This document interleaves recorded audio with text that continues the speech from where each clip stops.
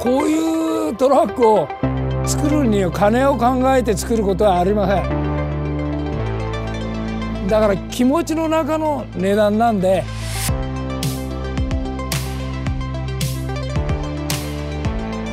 私は田島純一と申します。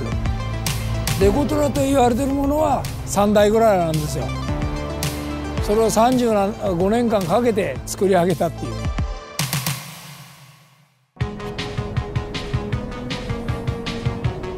デコトラっていうのは見た通りこういうデコレーショントラック英語で言えばデコレーショントラックっていうんかなと思うんだけどこういうデコトラが始まったのは50年ぐらい前から始まったんですけど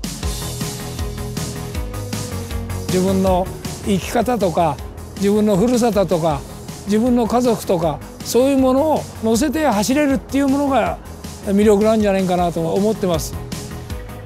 このデコトラの全国の歌丸会という会長をしてます。やっぱり世界でないトラックを作るっていうのが俺たちの意気込みなんで。名前は山田義和です。この車は龍神丸っていう名前で家一軒分ぐらいかかってる。夢が叶ってから悔いのねえようなこれ全体的に気に入って自信作だから。と名前が菊池正恵です。総額的にはまあ1000万近いような金額は多分かかってると思います。綺麗に電気をつけて走ってて心が癒される。やっぱりトラックってよくそういうことあの怖いってイメージとかそういう言われるんですけどこのデコトラを見ればこんな可愛い色とか可愛いトラックを見てそれは人間人間の本心が出てるんで、えそういうことはないしデコトラを通して少しでも喜んでもらえるっていうそういう気持ちが思ってもらえればそれがありがたいんかなと思いますよ。ぜひ文化に残してもらいたいよね。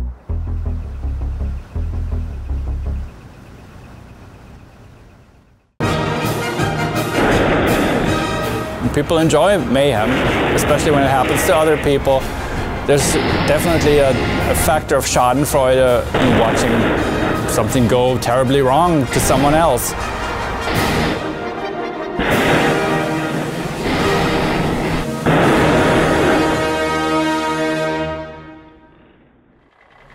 You're in a U-Haul. You're about to start your first semester at Duke, and driving down the road, you see this sign and another sign.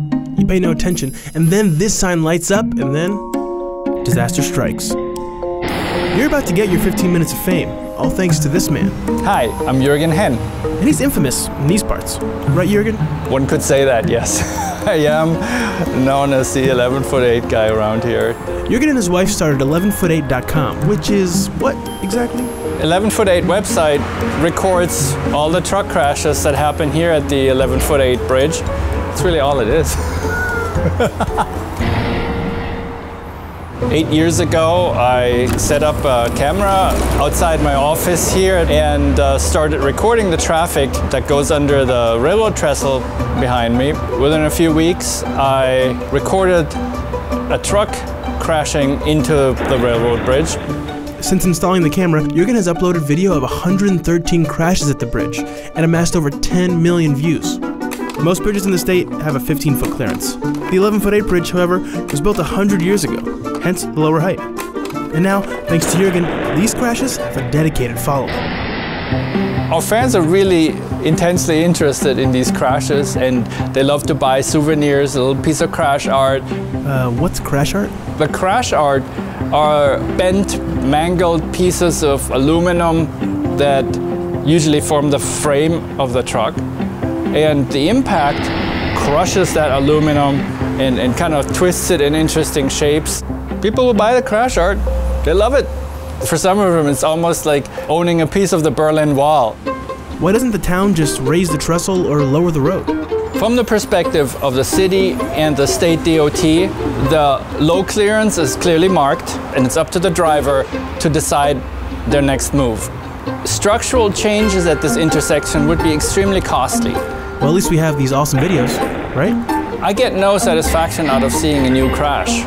If we found an actual solution to prevent this tomorrow, I'd be all over it. I'd love it.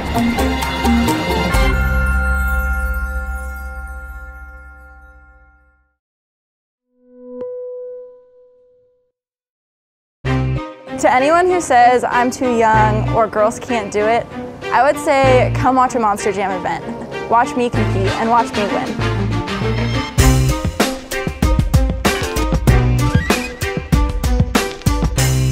I'm Rosalee Ramer, the world's youngest professional female monster truck driver. When I first sat in the seat of a monster truck, I was 11. I started competing at age 14, and I've been competing ever since. I could drive a monster truck before I could drive a car on the road. I'm studying mechanical engineering at Georgia Tech, and I'm working on making the monster truck of my dreams. I'm working on lowering the center of gravity of the monster truck so that it has better handling and more capabilities when we're out there on the field competing.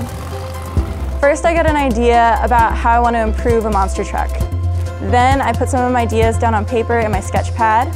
I get to put that into the computer so I can work with it on a higher level and I get to 3D print it.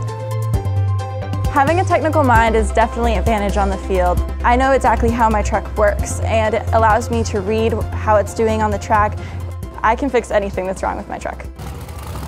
Wildflower is the first truck I got to help build. Putting that pink, those big flowers on my truck, that really shows who I am and I'm proud of that. And I hope that that makes little girls who do love princesses and who do love flowers more open-minded to the world of big trucks and machinery and mechanical engineering. I'm proud of who I am. I am a woman, I drive big trucks.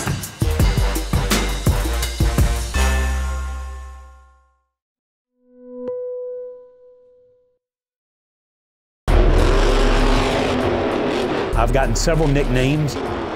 One of the biggest ones that stick out in my mind was One Run Anderson.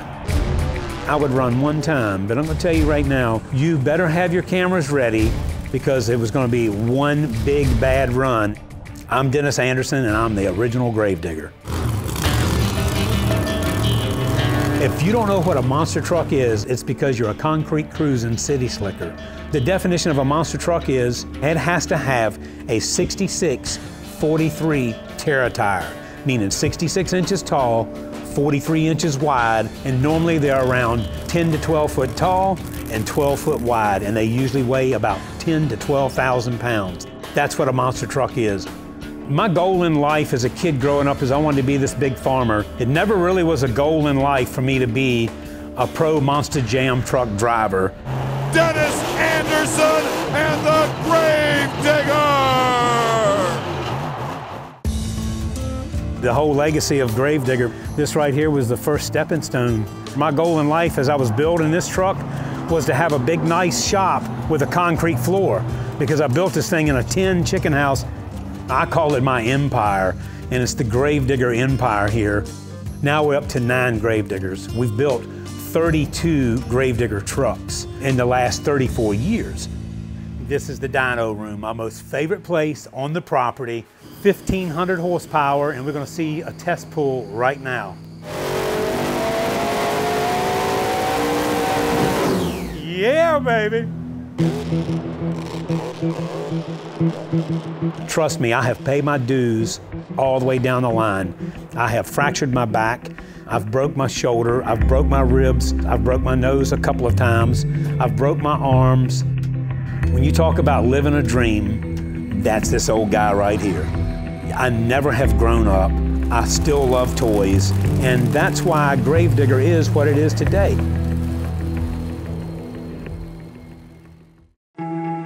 I think I've came up with the largest collection of old American cars in the world.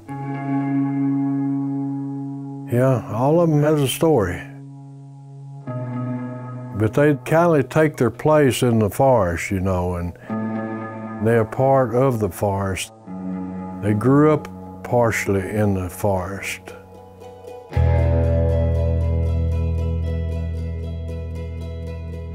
My name is Walter Dean Lewis. I run and operate and own Old Car City USA. I was born and raised in a junkyard and I like junkyards. This land was clear when I started putting them in there. I wanted nature to take its course and we just let it go wild. These cars come from other junkyards and just individual people, and they all wind up here at Old Car City. Ford, Chevrolet, General Motors, they laying out there in the forest, rotting away. We build things out of rust out there, and it is a piece of art.